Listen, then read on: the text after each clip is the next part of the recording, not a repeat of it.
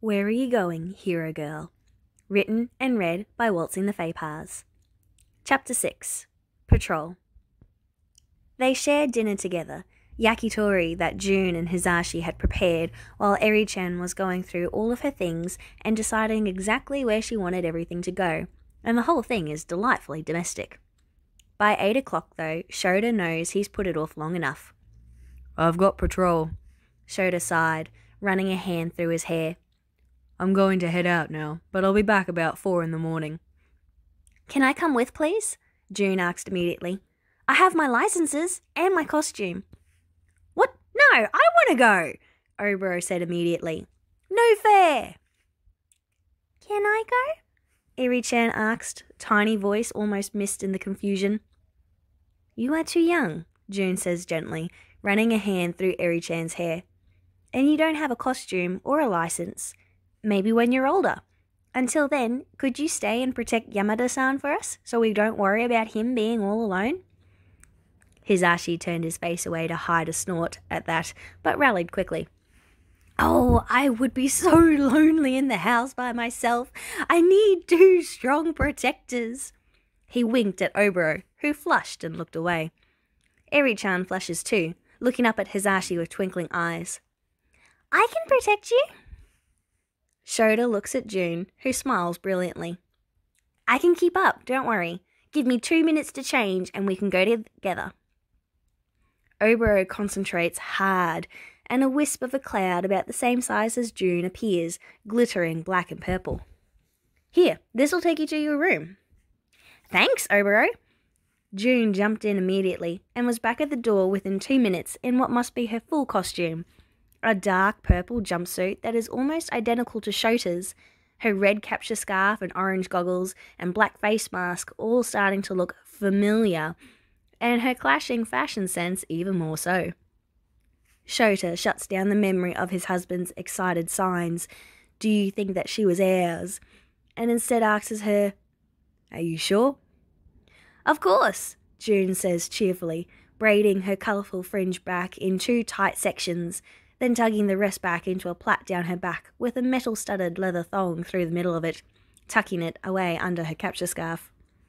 I was doing minor patrol while I was waiting to take Shie Hassaikai down, and even though I had my license with me, now no one will doubt that I'm an underground hero. Shota snorts and turns away so she won't catch the hint of a smile on his face, though he suspects she can already tell.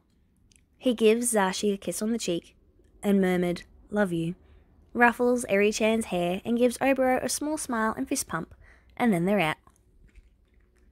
Shota swings his capture weapon up and out, and June mirrors him the whole way to the precinct he is meant to be working with this week.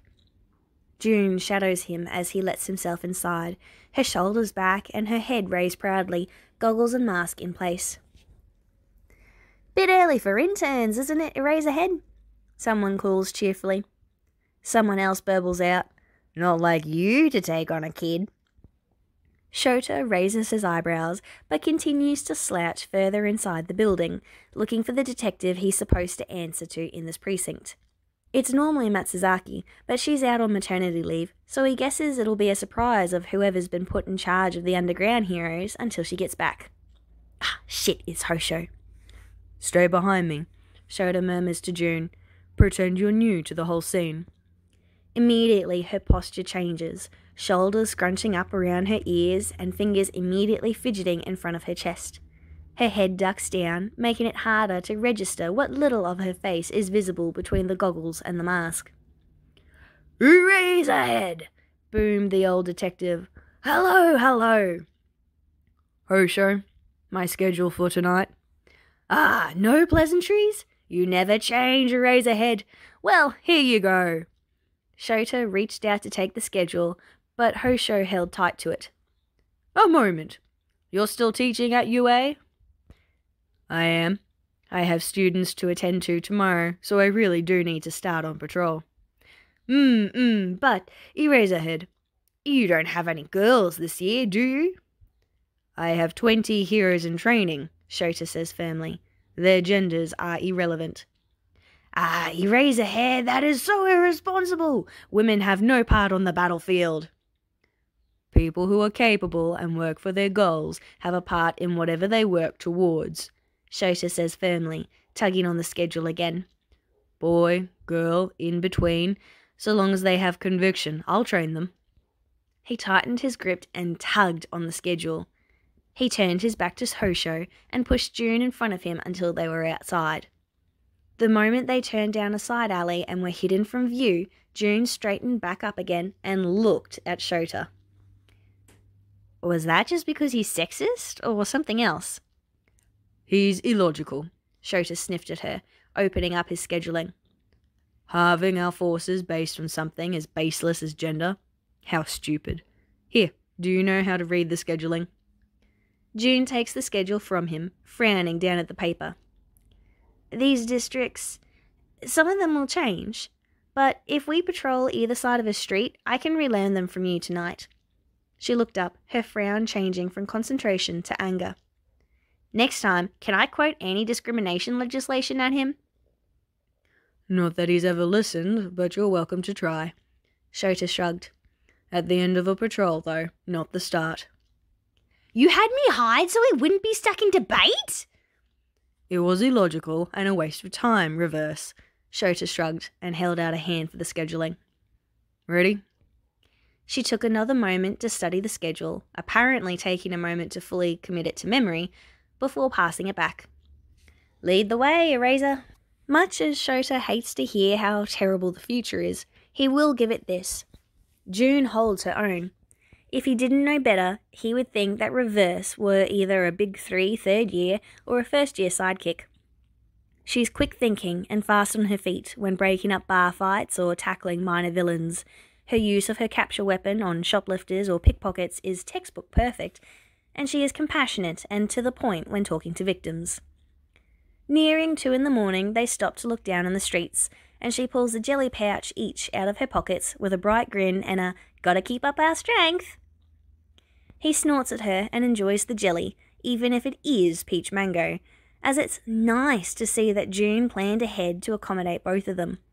It's been a while since he had an intern of his own. That wasn't a vigilante, and it's been even longer since he's had a partner. June has experience not just with the streets, but he thinks with Shota himself. She covers the areas he isn't looking at, and she calls for him as she dives into the streets so that he at least knows where she's going. She keeps a notebook in her belt that she jots times and keywords down in after each takedown so that she remembers everything for the paperwork later. When three o'clock comes around and they've done their rounds, they head back to the precinct to start on their paperwork, passing other underground heroes as they go. Reverse is polite and friendly to all of them, greeting them brightly with a bow and a, I'm Reverse, I'm new. She doesn't stop for more than that, so Shota doesn't scold her for wasting time, though he does give her side eyes that he knows she picks up on. She's starting to flag a little by the time they reach the precinct, shoulders rounded with exhaustion and breathing a little harder than it had been previously. You can nap while I do the paperwork, he offers once they're seated at one of the desks set aside for the underground heroes, paperwork stacked neatly. She immediately straightens up and declares that she's fine and more than capable of filling in her share of the paperwork, immediately taking a form and starting with her most recent incident rescuing a drunk girl from an opportunistic man in an alley. Shota pats her on the shoulder, fetches them both tea, and comes back to start on his own paperwork, starting with his first incident of the evening. By 3:30, they've almost finished their paperwork without any incidents. And then Hosho makes a reappearance. Eraserhead! he bellows, making everyone present jump and causing Shota and June to both ready their capture weapons. Is that a girl? June's shoulders immediately stiffened and straightened to her full height. When she speaks, her voice carries clearly. I'm the time turner hero, reverse, I'm an underground hero. My gender is irrelevant, and to presume otherwise is an act of gross misconduct, misogyny, and discrimination. The few female officers and prisoners are all hiding smirks at this, watching eagerly. Hosho is not well liked by the female populace, and for very good reasons. Hosho splutters at her. Young lady, that is no way to talk to anyone, let alone a superior. You're a detective, yes? By Japanese law, an underground hero is on the same level of authority as a police chief, whilst a licensed in turn may have the same capacity and authority as that of a detective. By law, we are on the same level of jurisdiction, thus, neither is superior to the other except for how we conduct ourselves when in the presence of other people. Reverse smiles Shota's scariest ghoul smile, and he's not even surprised anymore.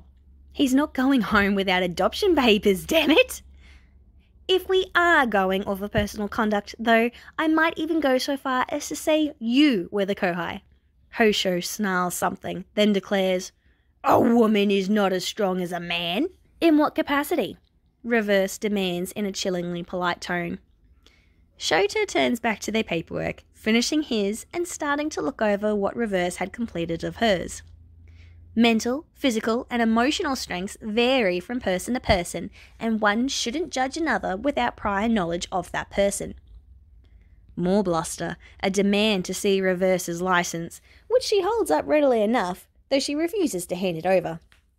Some more bluster, which Reverse continues to discredit, and, true to her word, quote legislation and even research against. Shota kinda wishes he'd thought to start recording, because Hizashi is going to love this. Hosho is as red as a fire truck and nearly as loud by four o'clock when Shota finally calls an end to it. Reverse, were these all of your forms? Ah, no, sorry, Eraser, one left. She smiled brilliantly, far sweeter than the ghoulish expression she'd worn against Hosho for the last half hour. She immediately turned her back to Hosho and started to fill in the final form, pen flying across the page. Shota tries not to snort.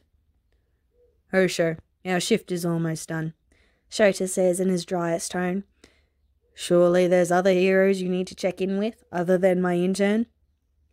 Hosho is basically apoplectic at this point, so he turns around with a sound like a tea kettle and walks away. Shota will savour this moment for a good long while, he expects. Stay here, he tells Reverse, standing and cracking his back. I've got some more paperwork to take home for Oboro, and then we can clock out. She salutes him cheekily and knuckles down once again. As he walks away, many of the officers and other detectives call out comments about Reverse's speech, but he ignores most of them. He does flick off a text to Zashi that says, How do we determine when they're whose daughters? Because I kind of want to take credit for June tonight, but honestly, think this is a you moment. It's four in the morning. Zashi won't wake up until Shota crawls into their bed after a quick shower, and even then, Shota's pretty sure he has a radio gig today, which means they might have half an hour together before Zashi needs to be on the road. Large sections of their communication these days is through text, but they make it work. They're supposed to have next weekend off together, and they had planned to have a date night. They might change it to a big group outing with Oboro and the girls instead. He grabs the paperwork that Oboro will need to re establish himself as a living person, grabs the re enrollment paperwork for UA while he's there. Any precinct that has anything to do with Shota is contractually obligated to have this paperwork on hand, and retrieves two sets of adoption papers to have on hand so that they can ask the girls later in the week if they will stay. Shota's pretty sure they will, but it would be nice to have the official paperwork handed in to make it legitimate in the eyes of the law. When he returns to reverse, she's hunched over her cold tea and trying not to fall asleep. Should I piggyback you home? He asks, amused. She blinks up at him sleepily and mumbles, Pretty sure 15 is too old for piggybacks. Then we better get home before you fall asleep on me. He helps her up, takes their paperwork, and drops it off with the clerics, and then they swing home. When they arrive, Shota makes June use the bathroom first, leaning against the wall with a timer on so that neither of them falls asleep before they actually get to bed. He wakes with a start when it goes off after five minutes and hears June curse from the bathroom. When he knocks, she hisses, I was only dozing. I'm going, I'm going. Shota smirks to himself, leans back against the wall, and then starts awake when June comes out three minutes later in a mist of steam and running a wide tooth comb through her damp hair. She smirks back at him and leans back against the wall on the opposite side of the door, setting a timer on her own phone. Your turn. He ruffles her hair on his way past and scrubs as quickly as he can, changing into his pajamas quickly, and is outside right as June's alarm goes off. She grabs the elbow of his sweatshirt and spins him back into the bathroom. Mike won't kiss you if you don't do your teeth, she scolds by rote. This kid. Once their teeth are done, they both head to their respective rooms, only to stop as they go past the living room. Oboro and Mike are sleeping on the couch, with Eri-chan sprawled over their laps. June giggles and carefully picks up Eri-chan. Shota sighs and shakes Oboro and Mike's shoulders until both startle awake. Sho? Zashi asks muzzily, hand reaching for the side table where his hearing aids are on the charge. What are you doing out here? Shota asks Oboro, who's blinking up at him and rubbing the sleep from his eyes. Shota signs his question so that Zashi knows what's happening too.